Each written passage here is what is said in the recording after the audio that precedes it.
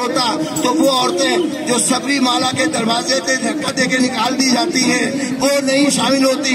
یعنی جو ہندو راشٹر ہوگا، وہاں پر، اور وہاں پر صرف برہمن اور وہ برہمن جو اس ملک کے حکومت کر رہے ہیں، وہ ہوں گے۔ ہندو راشٹر کا کوئی کانسیپٹ نہیں ہو سکتا۔ وہ غیر انسانی ہے، وہ ہیومین نہیں ہے، وہ کسی طرح سے انسان پرست نہیں ہے۔ اس لیے ہم یہ کہتے ہیں کہ آپ صاف کہیے کہ آپ اس ملک میں تیمین راس قائم کرنا چاہتے ہیں اور پھر ہم لڑائی لڑے اور ہمارے ساتھ جو جو اکولی سفر کر رہے ہیں، وہ ساتھ آئیں گے اور لڑیں گے۔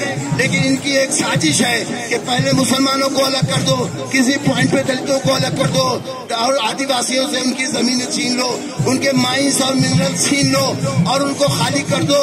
اور اس طرح سے ملک کو آزادی سے پہلے پندرہ اگست انیس سو سینتالیس سے پہلے کی پوزیشن میں پہنچ بچا دو اور پھر نہرو جی کی لیگیسی کو ختم کر کے ایک نئے راست کا, اعلان کرو جس کا جس کا ماڈل پیشوا کا راج ہے جو پونا میں تھا۔ آخری بہمین راج پیشوا کا تھا جو پونا میں تھا۔ اور اگر آپ کو سمجھنا ہے تو وہاں کی ہسٹری سمجھ لیجیے۔ انسانیت نام کی کوئی چیز کے راج میں نہیں ہو سکتی کیونکہ ان کو صرف آتا ہے لوگوں کو غلام بنانا۔ غیر انسانی حرکتیں کرنا اگر دیکھا جائے آپ تو چالیس قانون پڑھ لیجیے۔ جو انگریزوں نے اس ملک کے بنائے جس میں یہ تھا کہ برہمین کے گھر میں ہر نئی شادی شدہ عورت جائے گی اور تین دن کے بعد اس کو چھوڑا جائے گا وہ برہمین کے پاس رہے گی جس کو انگریزوں نے قانون بنا کے ختم کیا۔ ان کے یہاں یہ تھا کہ گنگا دان ہوگا جس میں دلت کا سب سے بڑا جو, جو شیو کا ساتھ کہے جاتے ہیں ان کا سب سے بڑا بیٹا گنگا میں دان کیا جائے گا۔ ان کے یہاں یہ تھا کہ جب آپ عمارت بنائیں گے تو ایک سب شیڈول کاسٹ کے آدمی کو اس نے زندہ زندہ زندہ چھنے گے۔ یہ یہ ہمارے سامنے یہ دوبارہ واپس لانا چاہتے ہیں، جس کی کوشش بھی کر رہے ہیں۔ انہوں نے ایجوکیشن سسٹم کو ختم کرنے کے لیے ایک نئی ایجوکیشن پالیسی لائے ہیں جہاں پر یہ پھر سے کاسٹ سسٹم کو ریوائیو کرنا چاہتے ہیں۔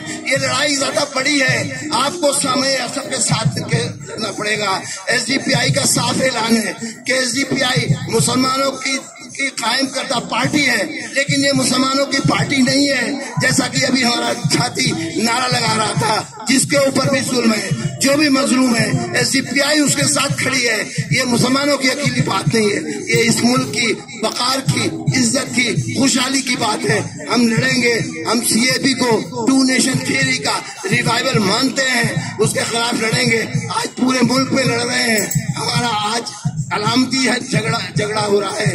آج ہمارا جو شو ہے، وہ سانکیتک ہے، لیکن ضرورت پڑے گی تو پورے ملک کے لوگوں کے ساتھ کھڑے ہوں گے۔